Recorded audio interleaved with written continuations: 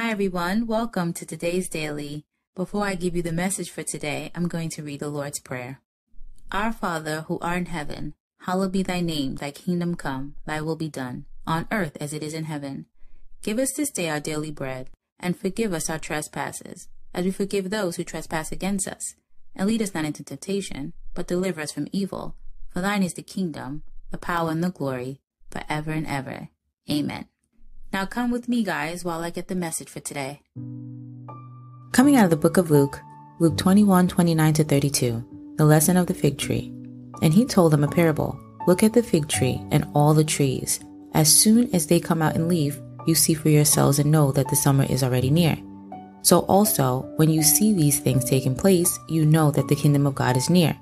Truly, I say to you, this generation will not pass away until all has taken place. The Lord said, I am the true vine, and my Father is the vine dresser. Every branch in me that does not bear fruit, he takes away, and every branch that does bear fruit, he prunes that it may bear more fruit. We are connected to the source of all things, which is the way that we may have life and have it more abundantly.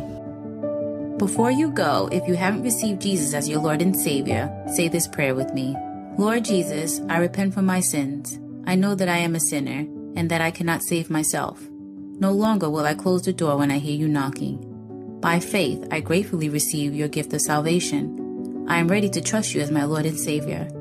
I believe you are the Son of God, who died on the cross for my sins and rose from the dead on that third day. Thank you for bearing my sins and giving me the gift of eternal life. Come into my heart, Lord Jesus, and be my Savior.